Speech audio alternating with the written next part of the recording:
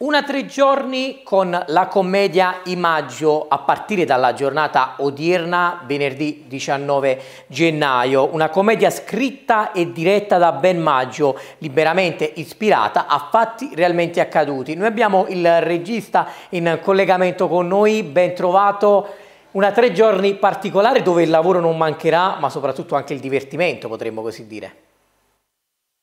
Assolutamente, il divertimento è importantissimo. Noi, eh, come sa, eh, diciamo, portiamo la storia della famiglia Maggio. I Maggio erano degli attori molto bravi nel drammatico, ma soprattutto comici, quindi come potremmo non parlare di loro se non attraverso degli sketch e dei momenti comici, naturalmente. Parlare di Maggio sicuramente non è stato una cosa scontata, eh, spesso la tradizione eh, non viene calcata, non viene ricordata. Era importante ricordare una delle famiglie più importanti nella storia del teatro, non soltanto napoletano ma italiano. E quale cosa più bella se non i Maggio stessi, cioè gli eredi di questa famiglia che li portano in scena.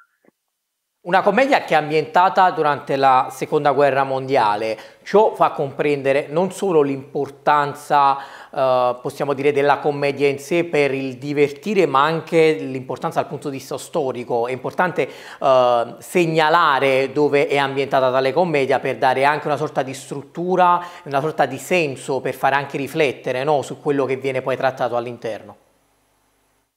Assolutamente sì, diciamo che la trama in realtà è un escamotage per raccontare poi dei fatti veramente accaduti alla famiglia Maggio.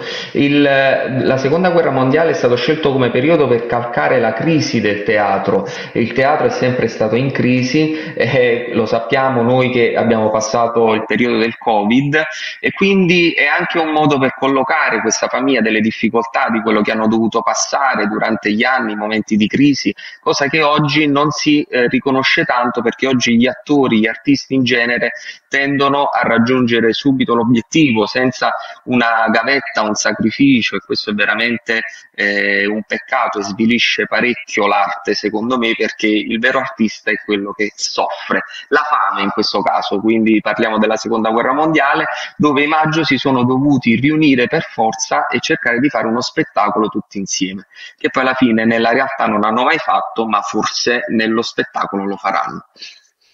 Possiamo dire che ha fatto un esempio molto importante, l'attore deve sentire suo quello che è lo spettacolo. È cambiato tanto il modo di fare spettacolo in questo periodo, in questi anni, in questi decenni, però questa commedia ripercorre, è un po' un'unione fra il passato e il presente, no? eh, cercare anche di dare una sorta di messaggio ai giovani attori.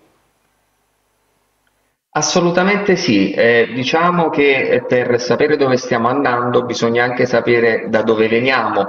Eh, I Maggio fanno parte di una generazione di attori che hanno creato il teatro moderno eh, e come l'hanno creato? Pre- prendendolo dalla vita, da quello che era la vita per strada. Oggi i ragazzi, gli artisti vivono poco la strada e invece è molto importante, addirittura Massimo Troisi entrava nei bar con un fogliettino di carta, si scriveva le battute che sentiva eh, all'interno del bar dietro gli scontrini, ma così hanno fatto tutti eh, ed è importante ricordarlo, è importante ricordarlo che artisti non si diventa, ma si nasce e soprattutto si cresce. Ricordiamo infine gli orari e soprattutto dove si può assistere a tali spettacoli.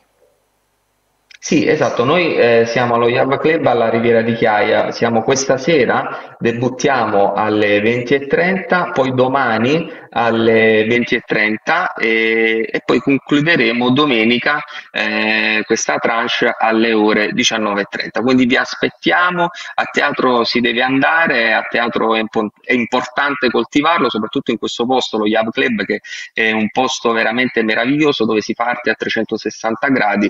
Consiglio una napoletani di andarlo a visitare assolutamente. Grazie mille per l'intervento. Grazie a voi, un saluto a tutti i telespettatori. Grazie. Grazie ancora.